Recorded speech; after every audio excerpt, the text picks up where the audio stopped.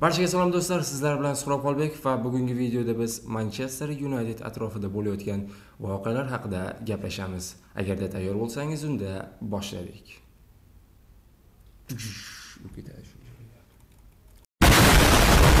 manchester yunayted yoz boshida ushbu mavsum uchun katta transferlarni amalga oshirmaydigandek tuyulgandi. Rahbariyatda bo'layotgan o'zgarishlar klubning moliyaviy cheklanishiga olib kelishi haqida taxminlar bor edi. Lekin unday emas ekan. Emyuning qilayotgan transferlardan klub kelasi mavsum uchun jiddiy tayyorgarlik ko'rayotganligiga amin bo'lishimiz mumkin. Keling birinchi navbatda klubga kelayotgan futbolchilar haqida gaplashamiz.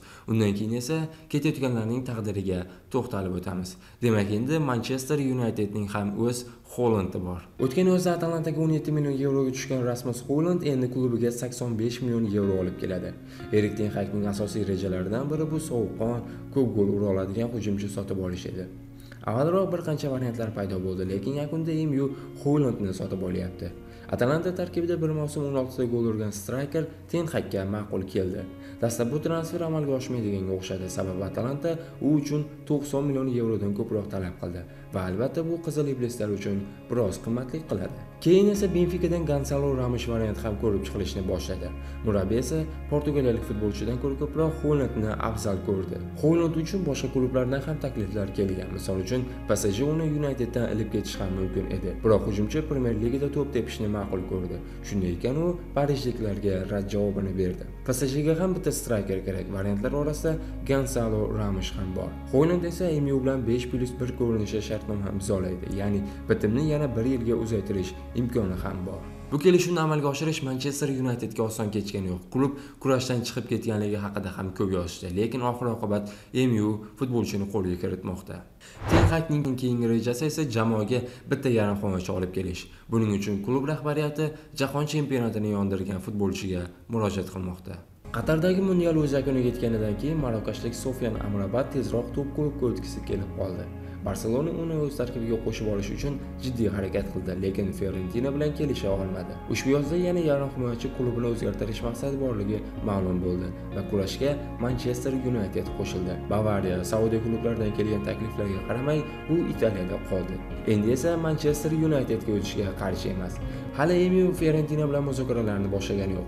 Tez orada klub birinchi rasmiy taklifni yuborishi kutilmoqda. Mazkur transfer Qizil iblislarga ko'pi bilan 50 million yevroga tushishi mumkin. Olgin assalomu alaykum nima kerakmidi bir nima kerakmidi klubni birinchilardan bo'lib david dexeya tark etdi. Bosman klubda qolish ham mumkin edi lekin rahbariyat bilan bo'lgan muzokaralardan keyin ketishga qaror qildi.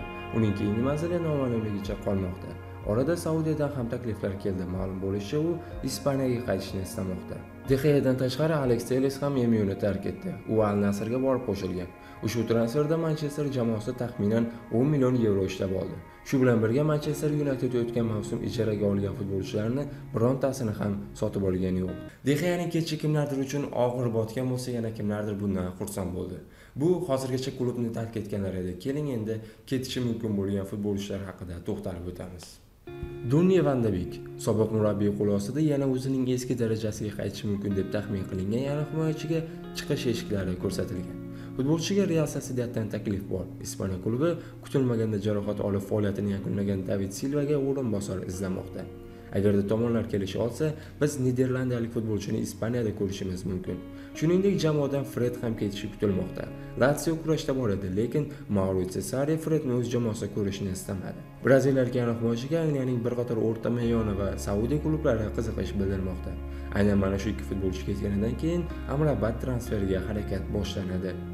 Klubni tark etuvchilar ro'yxatini sobiq jamoa kapitani bilan davom ettiramiz. harri Maguire tenhak qo'l ostida ham ishonchli o'yin ko'rsata olmaganidan keyin murabbiy uni ketishiga endi qarshi emas. Shunchaki yaxshi taklif kelsa, Angliya granti himoyachi bilan xayrlashmoqchi. Hozircha futbolchi uchun eng ko'p West ham harakat qilmoqda. Manchester United u uchun bolg'achilardan kelgan 20 million funtlik taklifni rad qildi. Mishmishlarga qaraganda Manchester United kamida 40 million funt istamoqda.